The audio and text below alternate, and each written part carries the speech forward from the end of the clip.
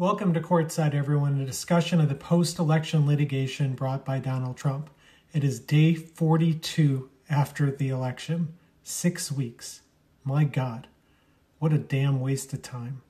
Before we get going, I want to say something preliminarily. So many of you are so kind in your Instagram comments and your cheer for this. And if you like what I'm trying to do with Courtside, please tell other people. Please get it out on Twitter, Instagram, Facebook. I'm not on Facebook, whatever. I need this to grow in order to keep doing it, particularly since we don't have that many episodes left. I mean, this thing should have been over in episode three, but instead we're like past episode 35 and we could have 35 more. But the comments to me mean more to me than I can say to you. Um, and second, some of you are so kind, sending food, pictures, all sorts of things. And I'm truly grateful for all of that. It means a lot. But I'd be even more grateful if you would take that stuff and give them to healthcare workers. I mean, these folks have been busting their behinds to keep the country safe at a time when the government has failed us. And they are our true heroes.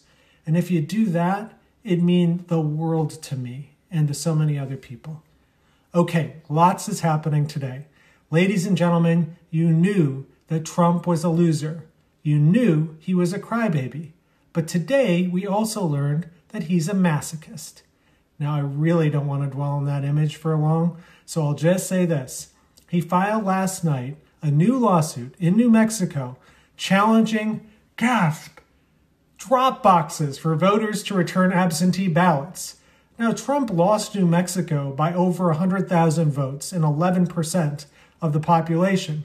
And what kind of joke legal strategy involves filing a lawsuit 42 days after the election, after the Electoral College is met, and months after these ballot boxes have been around?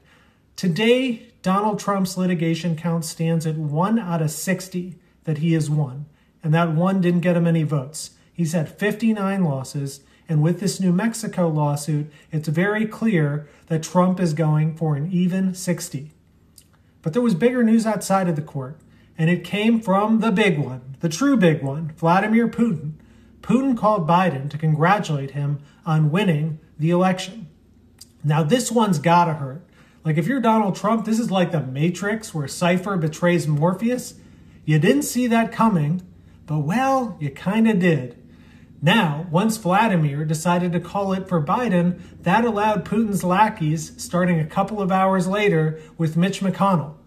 Now that Moscow Mitch's Russian bosses said it was okay, he could acknowledge that Biden has won. And indeed, he went so far as to say that it'd be wrong for the Senate to try and interfere with the counting of electoral votes on January 6th.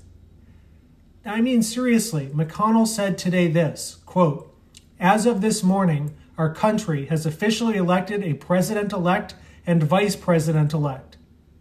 What happened this morning? The Electoral College votes were yesterday. Oh, but there was one thing that happened this morning Vladimir.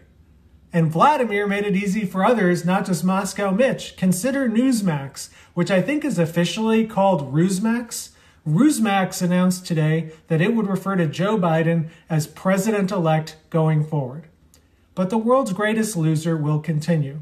Trump literally retweeted his lawyer, Lin Wood, in Georgia, who said that the Georgia governor, Brian Kemp, and the Georgia Secretary of State, Raffensperger, will, quote, soon be going to jail. That's the President of the United States retweeting that nonsense. And I really don't know what he's talking about. I mean, maybe it's conceivable that the Georgia governor and Secretary of State want to use their precious time for inmate visiting hours at jail, but do we really think that they care enough about Donald Trump to go visit him? Now, Lin Wood was part of the Kraken Georgia team. His lawsuit was thrown out last month, and his appeal was denied, sadly, yesterday. It was also revealed today that Donald Trump has secretly told his team, quote, if we don't win, I don't say the word lose. I say, I don't win. Okay, Mr. Trump, we know you don't win. You never do. So tonight, we wish you, Donald Don't Win Trump, the best. I'll see you tomorrow.